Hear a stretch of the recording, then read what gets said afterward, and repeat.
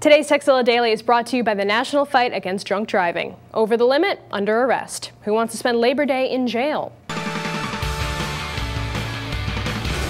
Welcome to Tekzilla Daily. I'm Veronica Belmont. Firefox's Find is a useful tool when you need to search for a particular word or phrase on a website, but it's also pretty bare bones and limited. That's why there's the Firefox add-on Find All.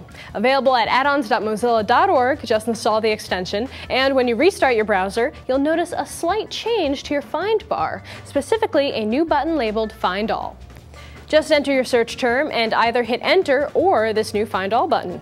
Your Find toolbar will expand to show all instances of this word on the page, along with a few surrounding words to provide context.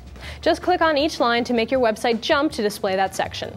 If you open the options, you can choose what color to highlight those words with, as well as a few other options, like displaying a Highlight All button, which will toggle the highlighting of every instance of your search phrase. So make your Find tool a bit more useful with the Find All add-on.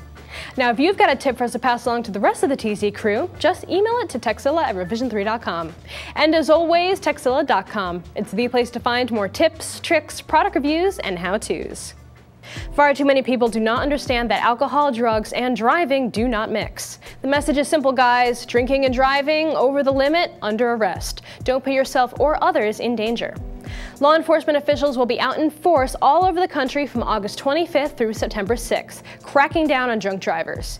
Beyond putting your own life at risk, you could cost yourself a bundle of time and money. And the thing about drinking and driving is that it can be avoided so easily. You can still go out and have fun, just plan ahead. If you're going to drink, designate a driver, call a taxi, use mass transit, or find some other kind of sober ride program. When I go out in San Francisco, I always make sure to use Taxi Magic on my iPhone. That way, if there are no cabs in the immediate area, I can either use the app to schedule a pickup or search for cab company numbers so I can call one up. This way, we never worry about getting stranded and no one has to drive. For the less high tech, make sure you program a few numbers directly into your phone. Paying a few extra bucks for a cab is so much better than throwing away money because you got pulled over or worse. Be smart, don't drink and drive.